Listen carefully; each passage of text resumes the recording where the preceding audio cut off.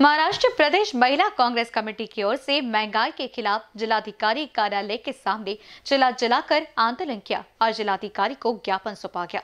दिन ब दिन महँगाई बढ़ती जा रही है। पेट्रोल, डीजल की कीमतों की बढ़ोतरी के बाद अब गैस सिलेंडर के भी दाम बढ़े हैं, जिससे आम जनता को काफ़ी दिक्कतों का सामना करना पड़ रहा है। कोरोना महामारी से सभी व्यवसाय ठप पड़े हैं और ऊपर से बढ़ती महँगाई से घर की महिलाओं को समस्या हो रही है। कांग्रेस काल में चीज़ों के दाम कम थे, लेकिन भाजपा की सरकार केंद्र में आते ही महँगाई आसमान छूने लगी है। कोविड के इस महामारी समय में आज हर जनजीवन अपने दिन के रोज़गार और इनकम के लिए बहुत ज़्यादा परेशान है और उसमें बढ़ती हुई जो महँगाई है, आज यदि हम देख रहे हैं कि सब चीज़ डीजल और पेट्रोल पे डिपेंड होती है यदि डीजल पेट्रोल के रेट बढ़ेंगे तो खाद्य सामग्री के रेट बढ़ चुके हैं।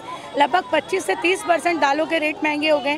तेल के रेट महँगे हो गए। गैस सिलेंडर आज लगभग 900 पार हो गया लगभग कुछ सिटी में 1000 पार हो गया तो ये बढ़ती हुई महँगाई से हम महिलाओं को बहुत त्रस्त हो गए आज घर चलाना इतने कम पैसे में बहुत मुश्किल है। एक तरफ़ इनकम नहीं है, दूसरी तरफ़ पूरे खर्चे लगभग 50 परसेंट से अधिक हो गए हैं।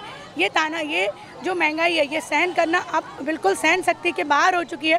महिलाएँ इसको सहन नहीं कर पाएंगे। या तो मोदी सरकार इस महंगाई पेट्रोल डीजल के काम को कम करे या फिर अपनी गद्दी छोड़े। मध्ये जी महागाई भडकलेली आहे। तर या देशातील सर्व महिला पेटून उठलेल्या आहे. आपल्याला माहिती आहे दोन हजार बारामध्ये काँग्रेसचं गव्हर्मेंट होतं. आणि त्यावेळेस डिझेलचे पेट्रोलचे भाव आपल्याला माहिती आहे आणि आजचे भाव माहिती आहे. आज जेव्हा जेव्हा महागाई वाढली तेव्हा तेव्हा डायरेक्टली हा जो अटॅक आहे हा महिलांवर झाला. कारण जे आर्थिक बजेट असतं हे महिला सांभाळत असतात. आणि आज जे डिझेल असो पेट्रोल असो गोडे तेल असो याचे भाव जे आहे हे आकाशाला भिडलेले आहे. आणि अशा परिस्थितीमध्ये देशातील महिला ही हवालदिल झालेली आहे. आपल्याला माहिती आहे नोटबंदी झाली महिला संपल्या.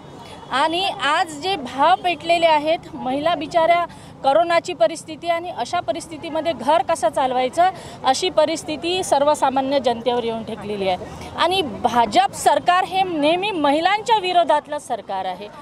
बढ़ती हुई महँगाई पर केंद्र सरकार का निषेध करते हुए जिलाधिकारी को ज्ञापन सौंपा गया है। इस समय कांग्रेस की महिला कार्यकर्ताओं ने चूल्हा जलाकर निषेध किया। साथ ही मोदी सरकार का प्रतीकात्मक शव यात्रा निकालकर केंद्र सरकार के विरोध में नारेबाजी की गई। कैमरा पर्सन राजकुमार मोहर के साथ क्षितिजा देशमुख की रिपोर्ट।